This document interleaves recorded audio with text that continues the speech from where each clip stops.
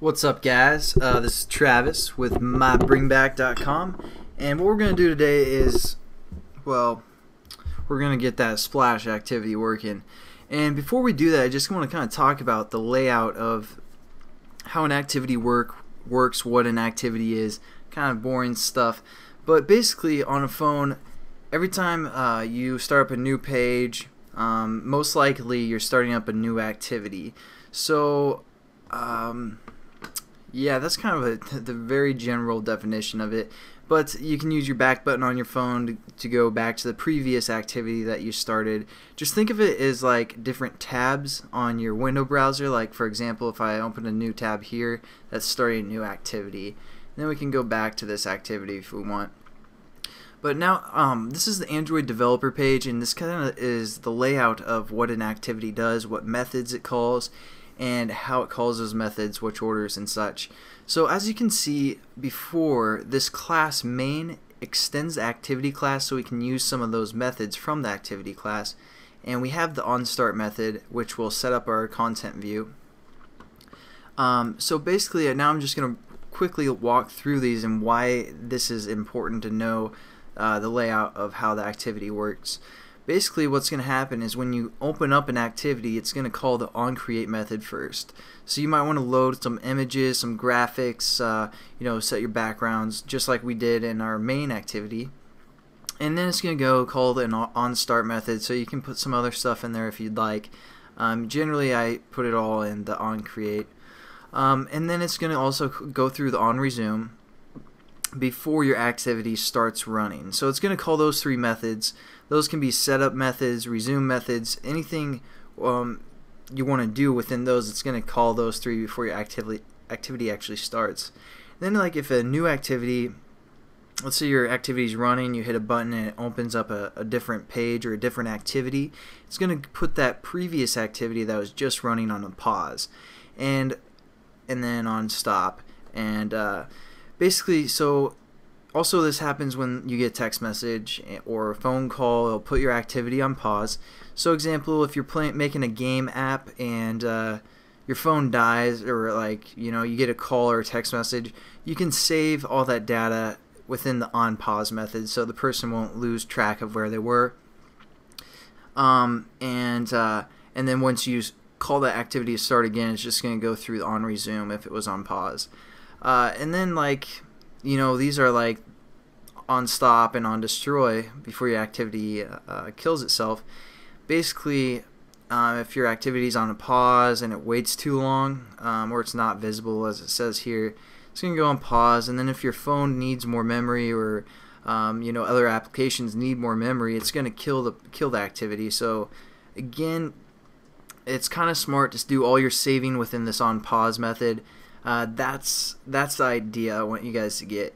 And I'll put this link in the, the description so you guys can check this out and uh, just kind of browse through it. But the most important ones are the on create, on resume, and on pause because you know if our activity does kill itself, it's going to go through the on pause anyways.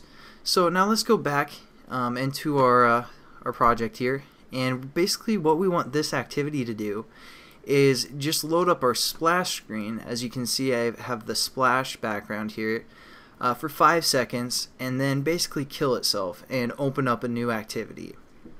Um, so the way we're going to do that is, well, first we're going to set up our new activity that we want it to open. And so you're going to go into your package and right click and just hit new class and we're going to say this is a menu class because it's going to be a menu with buttons all that good stuff. Just type menu and hit enter or finish, whatever you want to do. And again, we want this to be an activity so we can use those uh, those methods that I just kind of went through. So how you do that is just extends activity. And then we're going to have to import the activity. So hover over and just hit import activity. Or if you want to do it manually, you can just type import android.app.activity. Again, that's pulling from this Android 2.2 extension that we put in. Um, and then we're just going to hit uh, basically right click again, go down to source, override implemented methods. Again, here are some of the ones that we can use. So I'm just going to hit on create the bundle. Um, you're familiar with that one. We kind of went through that, and then just the on pause, and hit OK, and then there's our two activities or methods. And on the on create, we want to set up our background for the menu. So we're going to say set content view, and then within parentheses, we're to hit r dot layout dot uh, main because that's the one that's going to hold our buttons as the main XML. And uh, and yeah, so I mean, you guys will get really familiar with this set content view and these little methods right here, this little descriptor, just r.layout.main. We'll, we'll kind of go through that later, but uh, yeah, it's it's pretty simple. I mean, obviously, you don't know what if you don't know any Java, you don't know what like you know exactly what's happening, but you can set up your background, so that's cool. So now that we have our um, menu activity set up, the only other thing we need to, need to do is kind of define a reference for the Android manifest to know that activity exists. So we're going to open up the manifest and um, basically what we're going to do is you can see within our application this is where we're going to keep all of our activities. Here's the main activity which is actually our splash activity if you want to think of it that way. And again I talked through um, what, what the launcher and what the main does and all that cool stuff. So I'll kind of talk through that again here, but we're just going to copy from this activity bracket down to this the close activity, and we're just going to hit um, right below that line, still within the application, just uh, Control V. And basically, the Android name, that's what our class name is going to be. So we need to call this menu uh, the exact same as what we labeled our class name over here.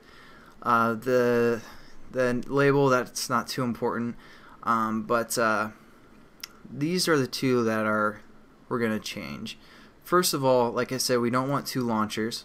So we're going to change this to a default. So the category name is going to be default.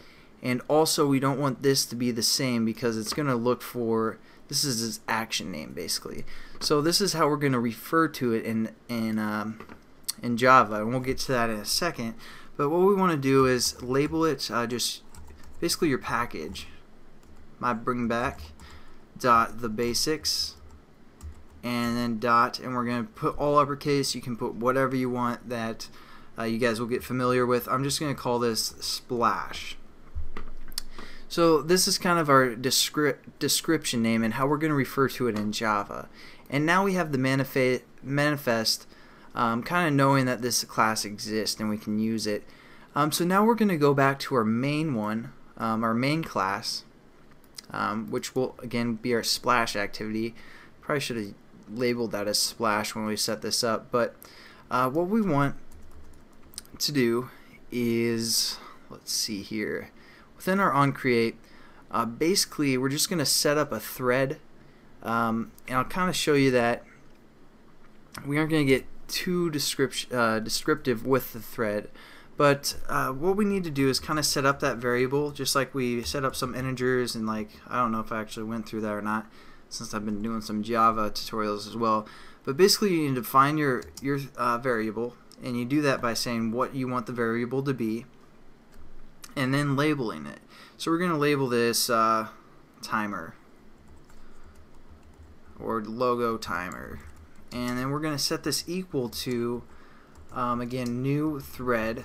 And this again I'm not going to describe exactly what's going on right now but uh, just get you kind of set up here. So and we'll, we'll, get into the the details of what this new means and the thread means and all that other stuff. If you guys want to get a jump start you can also check out my uh, my Java tutorials on my bringback but we're gonna hit new thread and then open bracket hit hit enter and uh, here's your close bracket. And we're just gonna go down to this close bracket real quick and put our semicolon. Um, so there we go. We kinda set it up. It's a new thread of some sort and within here is where we're gonna create uh, some methods. And I'm gonna do that in the next tutorial just because of time but uh, yeah, this is kind of the basic layup of setting up our thread, and you guys need to watch the next tutorial for this to actually actually work. So see you guys then. Thanks for watching, and see you soon. Peace.